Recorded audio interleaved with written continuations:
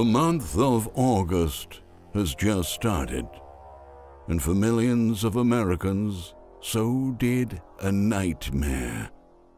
A day of reckoning has arrived for renters all across the nation.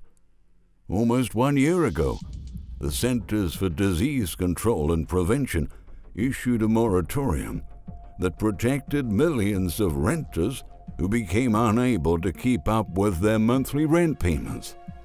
But the moratorium has officially ended. And now billions of dollars in back rent must be paid. For some, this means that they have to come up with almost an entire year of rent in only a few weeks to avoid getting evicted. However, for the millions that simply cannot afford to pay what they owe, this means that they can effectively lose their homes any time now. This situation has been building up for several months, and now it is rapidly evolving into a major national disaster. Welcome to America's Eviction Horror Show. Up until now, there doesn't seem to be any hope of preventing the most devastating eviction tsunami in the story of the United States. While some are still desperately hoping Congress to issue an extension of the moratorium, at this point, that does seem very unlikely. The truth is that this unfortunate day would have to arrive sooner or later.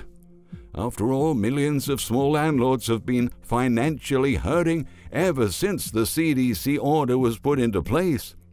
Some of them reported that they haven't collected rent for nearly one year, which has also compromised their abilities to keep up with utilities, maintenance, and their own mortgage payments. Even though the order intended to keep a roof above the heads of millions of families amid what was the worst economic recession since the Great Depression of the 1930s, which was then triggered by a ravaging health crisis, it financially has burdened 10 million small landlords who became responsible for solving a housing crisis caused by government policies overnight.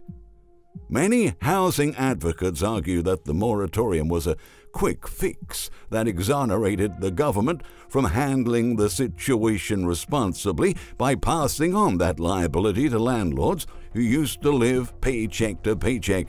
All in all, 12.7 million households are at the brink of eviction, and given that many of them house several family members, the estimated number of people that can be ultimately pushed to the streets is in a range of 40 million and that's according to a study by the Aspen Institute. Lower income households are disproportionately more at risk of facing eviction as they're less likely to have savings to pay rent and more likely to have been employed in industries that were severely affected by the virus crisis. Although some organizations are still fighting to bring the moratorium back, it has never been a complete solution.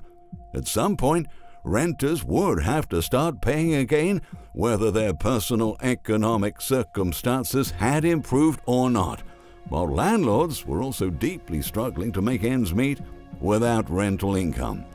Now that the wait is over, a flood of eviction notices is expected to be seen over the next couple of weeks according to a recent USA Today report. As of today, landlords will be racing to take advantage of the opportunity that they suddenly have because there is still a possibility that Congress could issue another order to prevent mass evictions. And so, landlords are rushing to file eviction notices as quickly as they can. And considering that the moratorium was the only tool keeping millions of tenants in their homes, now that they're effectively at risk of being evicted and a threat to public health still looming, renters are in danger once again. August is going to be a rough month because a lot of people will be displaced from their homes, said Jeffrey Hearne, Director of Litigation Legal Services of Greater Miami. It'll be at numbers we have not seen before there are a lot of people who were protected by the moratorium. Amongst those protected by the moratorium is Roxanne Schaefer, who suffers from a myriad of health issues, including respiratory problems and a bone disorder, and now is one of the millions fearing homelessness. Her landlord, who first tried to evict her in January, has refused to accept federal rental assistance, so the only thing preventing him from changing the locks and pushing her out of the apartment she lives in was the CDC moratorium. Her $800 monthly disability check is just not enough for a new apartment. She has only $1,000 in savings. I got anxiety. I'm nervous. I can't sleep, revealed Schaefer of West Warwick, Rhode Island, over fears of being thrown out on the street. If he does, you know, I lose everything. I'll have nothing. I'll be homeless, she said. In essence, the expiration of the moratorium means that we are about to witness a year's worth of evictions over several weeks, which can lead the U.S. to the worst housing crisis since the Great Recession. While some places will see a spike in evictions in just a few days, other jurisdictions will see an uptick in court filings that will lead to evictions over several months. The U.S. Census Bureau estimates that roughly 3.6 million households in the U.S. are going to face eviction in the next two months, as their eviction notices have already been filed. And over 15 million people live in these households that collectively owe as much as $20 billion to their landlords, according to the Aspen Institute. I know personally many of the people evicted are people who worked before who never had issues, said Kristen Randall, a constable in Pima County, Arizona, who will be responsible for carrying out evictions starting Monday.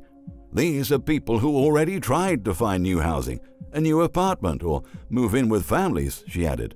I know quite a few of them plan on staying in their cars or are looking at trying to make reservations at local shelters but because of the health crisis, our shelter space has been more limited.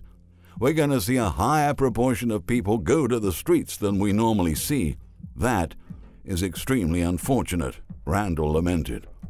Even more alarming is the fact that this crisis is bound to get a lot worse in September, when the first foreclosure proceedings are expected to begin.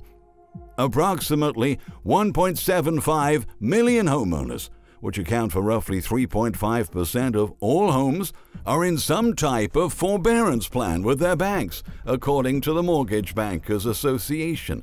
But the official U.S. government data indicates that 5.9 million homes are not current with their mortgage payments while 8.7 million homeowners said they have little or no confidence in their ability to pay their mortgage next month, which puts 7.4 million tenants who are in rental properties that are not current with mortgage payments in danger of eviction too, regardless of having paid rent or not.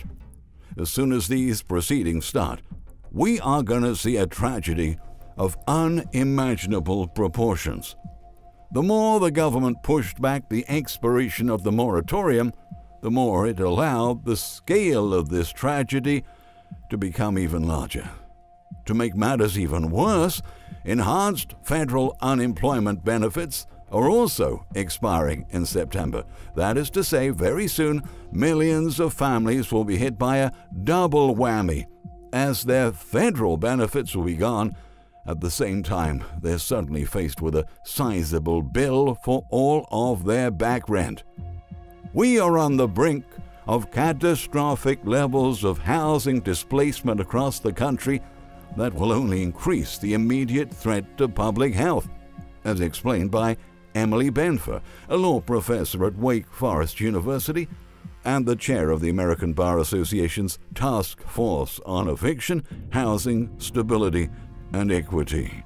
It's almost unfathomable. We are on the precipice of a nationwide eviction crisis that is entirely preventable, Benfer argued. The eviction moratorium is the only thing standing between millions of tenants and eviction while rental assistance applications are pending. When that essential public health tool ends on Saturday, just as the Delta variant surges, the situation will become dire, she warned. In short, an avalanche of distressed renters will be forced out of their homes and into a housing market where prices are skyrocketing and vacancy rates are at all time lows, meaning that those people will become unable to find housing for an indefinite period of time. Particularly because when people have an eviction record and back rent, it's impossible for them to find new apartments, which leaves many in a very vulnerable position especially amid a health crisis. Whether they shack up with families, seek already overcrowded shelters, or find unsafe dwellings in low income neighborhoods that lack good schools, good jobs, and access to transportation, the alternatives do not look good. Many will also be overwhelmed by debt. In face of all of this, we have to think about what is going to happen to this country when millions of impoverished Americans are suddenly thrown out into the streets. The eviction crisis can potentially be the catalyst of widespread chaos and unrest all across the nation. We have to admit that our system is not designed to handle a sudden disruption of this magnitude. While organizations can try to help those that are deeply in need, they cannot solve this crisis. Already, roughly half a million Americans will sleep on the streets tonight. So, what will the number be after this massive wave of evictions is over? This is truly concerning. We are heading to extremely troubled times, and this eviction tsunami will, without a doubt, be a huge destabilizing force in our society. We have got to this point because the billions spent by Congress to lift people out of poverty never really provided a real safety net, and their so called preventative measures did not work. August is going to be a major turning point, and you are going to see a whole lot more trouble erupting as we move towards the end of this year. Thank you so much for watching. If you found this video informative, we would like to recommend Seven Year Apocalypse, the latest book of the economic collapse author Michael Snyder. In the meantime, don't forget to share your thoughts in the comments section down below and turn on the notification bell to keep up with our latest videos.